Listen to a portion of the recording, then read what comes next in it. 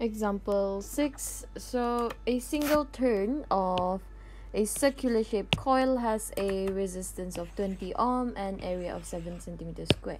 So it moves towards the north pole. It moves towards the north pole here. Uh, so if the rate of change of magnetic flux density is 0.55 Tesla per second, determine the induced current and state the direction of the induced current observed by the observer. Okay, so given is the number of turns, which is single turn, so 1 lah. And then the resistance is 20 ohm. Area is 7 times 10 negative 4 meters square and the rate of change of magnetic flux density is 0.55 Tesla per second. Okay? Okay, so so the circular shape coil punya area is like this. And then the magnetic field is going somehow beginilah. Okay, so it's kind of like this. Okay okay. So if this is the case our the angle between B and A is actually 180 degree lah. Sebab they are pointing in the opposite direction. So this is 180 degree. Okay? Yeah? And then so we what we need to do to find induced current is to find is to calculate the induced EMF lah.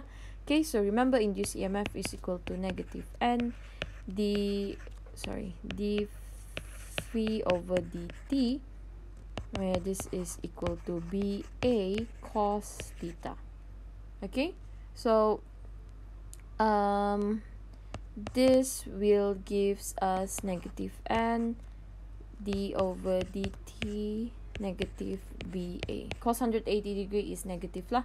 So, kita akan dapat NA dB over dt. Okay? So, the induced current is then 3.85 times 10 negative 4 volt lah. Okay? So, how how did this hilang is cos 180 degree is equal to negative 1. So, dia jadi negative BA sajalah. Okay?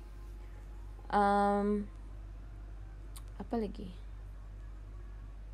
Oh, actually, this is terlampau short. Takut tak faham.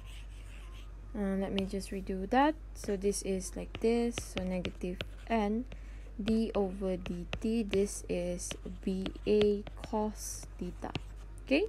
So there is ni negative n. We are left with negative ba. Okay. So this is basically just na db over dt. Okay, yang ni dia bring forward jadi constant. So we have db over dt. Negative ni hilang because this is negative, this is negative. Okay, okay.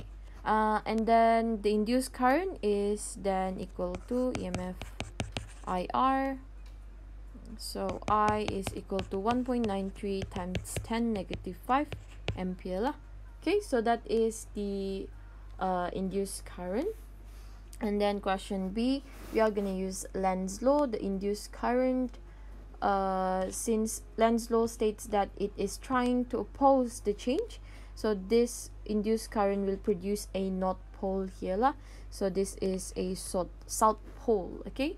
So the punya direction of magnetic field will be going away from each other lah, from uh, from this lah. So they will be begitu Derang tidak akan trying to connect because they are like pole alright?